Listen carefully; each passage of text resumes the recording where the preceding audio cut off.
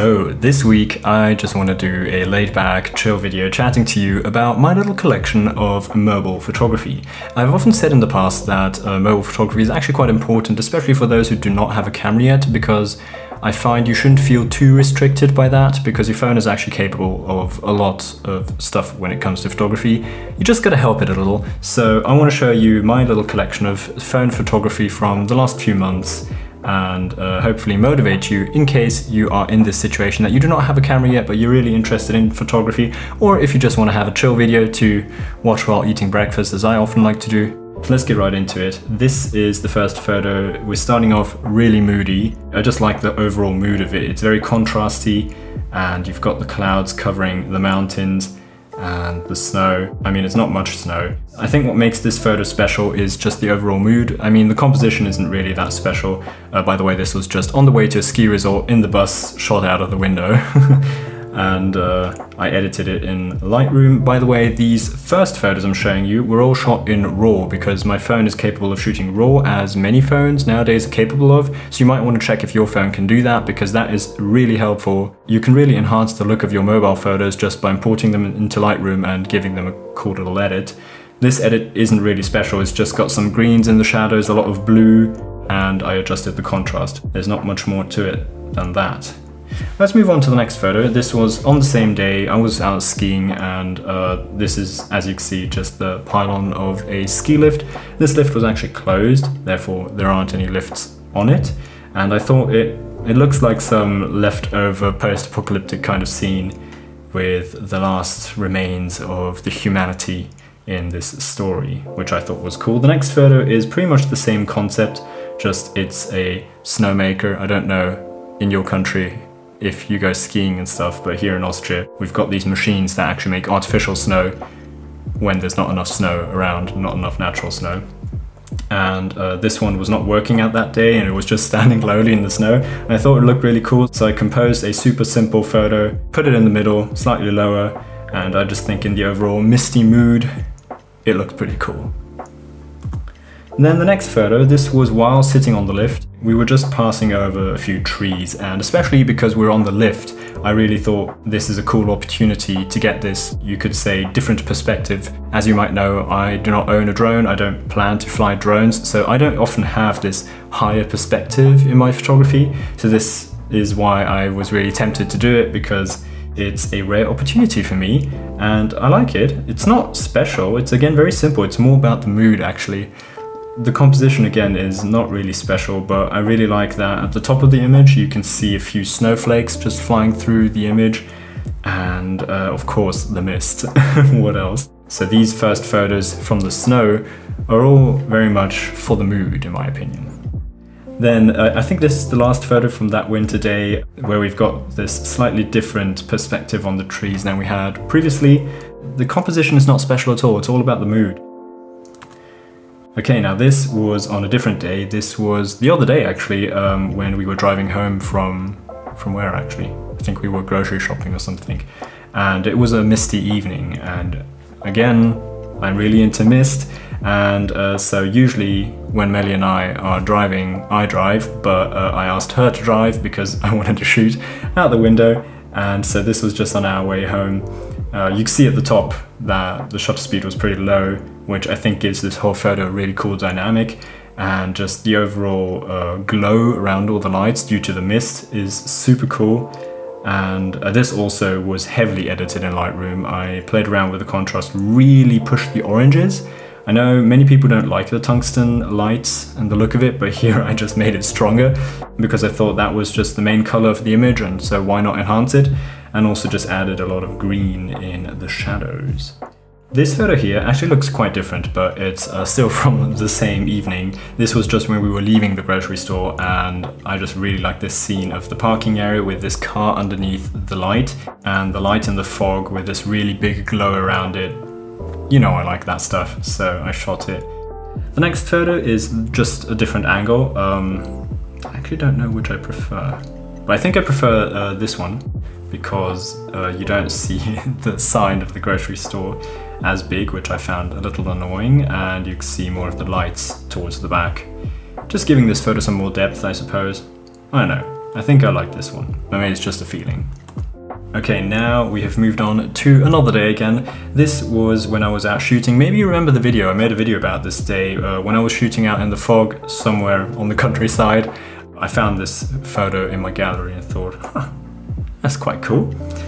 This photo is again from another day out shooting somewhere in nowhere in thick fog. And I just thought it'd be cool to shoot a little behind the scene photo this as well. This was the cold day, that's why I had to bring out the, the fat clothes, um, which usually is a little inconvenient, but on that day it was really necessary. Although it was actually not that cold, just I'm really sensitive to the cold. Alright, this is again a different day. This was back at the beginning of autumn 2020. Um, this was on my way to college. My college is slightly on the countryside, like just outside of town, and so it gets quite misty around there sometimes, whereas in town it doesn't get misty as much. And so I was getting really excited, getting further and further out of town. And it was getting mistier and mistier, and we were just stopping at this train station, so I decided to use this moment and get my phone out and shoot a little shot out here, which I think turned out really cool. I love uh, the composition here. Surprisingly, I was just here by coincidence. I didn't move or anything. The train stopped and I was sitting on my seat, just got my phone out, and coincidentally, I just had pointed that way and had this composition with the lamp nicely to the side. I just think the lamp really makes this composition work um, is this point of interest. Not that it is especially interesting. Again, a lot of this photo is just the mood, um, but I think this one actually does have somewhat of a composition. okay, now we're moving on to some more romantic photos, I would say. I don't know, what, what do you call the mood of these photos? I thought it looked somewhat sunset, pinkish. Uh, I thought I'd call it romantic. I think that was quite a fitting word. Anyway, this was again while grocery shopping and at the parking area, as you can see, um, with the cars in front of me. And I saw that moon glowing in the sunset and I thought I gotta shoot that. So this is the first photo from that evening. This is the second photo. As you can see we've got quite some texture and a lot of blurriness. This was because I was shooting out of the car window which was fogging up a little bit because of the temperature difference inside the car and outside of the car and I really liked how this extreme texture lined up with the light and just made the whole thing a little more interesting and I really like the colors that came out here. Moving on, this is, you can imagine, the photo I just showed you was shot this way and now I turned around this way, back to the moon, and this is the scene I saw and I really like this photo. I don't know, it's again somewhat compositionless, but there are so many little things that you can look at. You've got the inside of the car, you've got stuff in front of you, but also the moon in the back.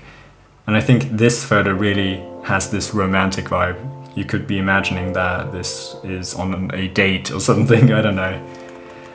Oh, and then this shot. This is um, one of my favorites. This is somewhat of a classic, as you know, especially film photographers shoot gas stations all the time and I really get the aesthetic. I really understand why they think it's aesthetically pleasing. And with this sky in the background and the illuminated orange square at the top and the car lights in red, I think this just proves again, when you don't have your camera with you, don't hesitate to shoot it with your phone. I think this turned out beautifully. Alright, now we're coming to a collection of photos which were not shot in RAW anymore, so for any one of you who found out that their phone is sadly not capable of shooting RAW, don't be discouraged by that. However, these shots were also not just shot with the phone camera as it is, I actually shot this through an app. I've used the app before, maybe you remember back a few months ago, I made a behind the scenes GoPro POV video of me shooting phone photography, and I told you that I'm using the film simulation app called Fimo. So this shot and the following shots were all shot with that app called Fimo, with the film simulation called EK80, which I think is a simulation of Kodak Ektar, I think. Anyway, that's my favorite preset that they have. So some of these photos probably look slightly over edited, I still enjoy the look that they give you. So this is, you could say, the extra convenient way to just be shooting and have instantly edited photos without having to edit yourself. I was really enjoying the light on that day, so this was just a few meters on from the previous photo. It's just this winter light coming in from the side, which I think is super aesthetic, so I had to shoot this. And here I have a much older photo. I think this is the beginning of autumn 2020. Uh, again, on my way to college, and I was just waiting at the train station and I thought kind of everything looked cool. I think it's slightly underexposed. I'd prefer everything to be just a tad bit brighter, but that's what the app did. This photo is from the same waiting session, just I had 15 minutes or so to wait for my next train and I obviously thought these shadows were quite cool here. Think the shadows and how they contrast to the somewhat glowing ground looks quite interesting. Then this is still from the same waiting session, capturing the shadows from the chairs. I don't play a lot with uh, light and shadows, as you know, I'm more of the fog kind of guy, but especially when I'm just waiting around with my phone, I do tend to just shoot stuff completely out of my usual genre, and that is also the reason why I wanted to make this video, just to share some other kind of photos with you. Now this is again waiting for the train uh, on my way to college. Um, but as you can see, this is a different day. This is an overcast day, and I thought it was really cool how that red sign, first of all, that the red sign really popped out of the rest of the scene because it was so colorful. But the other thing is that it's perfectly centered in between the two, what do you call those? You know what I mean, right? So I centered it in the composition just to enhance that centered focus, and I think this turned out quite nicely. Okay, we're going further and further back in time. This was in September 2019 on my way to a film set. This was just in the train on the way to the set or to the location. And again, I was enjoying some watery textures on the windows. So this here is the first photo from the location itself. We had this little apartment where we were shooting and this was our toilet for the crew and I just really liked how the light was coming in. Scene itself is not that interesting. I think I shot this because of the light. At least that's what I find interesting now. I really like the soft light that just comes from the side out of that window. So here is just a close-up of the same scene. This is on the way to that location we just saw in the car Again, as you can see, I somehow seem to be enjoying shooting through wet windows and uh, I also really enjoy the red lights of the cars in front of us. The next photo is basically the same, just much cooler in my opinion. I just love the color contrast coming out here and how that red is so big because it's not just the lights but also the raindrops that are on the window just in front of that car so this is not so far back in time anymore. This, I think it was more or less around Christmas, on my way home to my parents, and I was just walking along the street and saw this, I think it's a swing without a swing. and again, this was just, the winter light caught me. I thought it was really cool, this golden hour look here, so I shot it, and I really enjoyed this shot. It just gives me a good feeling. I don't know. I don't know about you, but uh, please, if you have any thoughts to share, feel free to share them in the comments. I'd be interested to read because a lot of these photos, I'm just not sure if they're any good, but I really feel something when looking at them. I just like the mood. It's either really dramatic or in this case, somewhat nostalgic, I suppose. So, um, yeah, that's it. Really chill video. I hope you enjoyed it. I hope you had a good time. I hope I could inspire you maybe to uh, go out and shoot with your phone in case you don't have a camera available at the moment.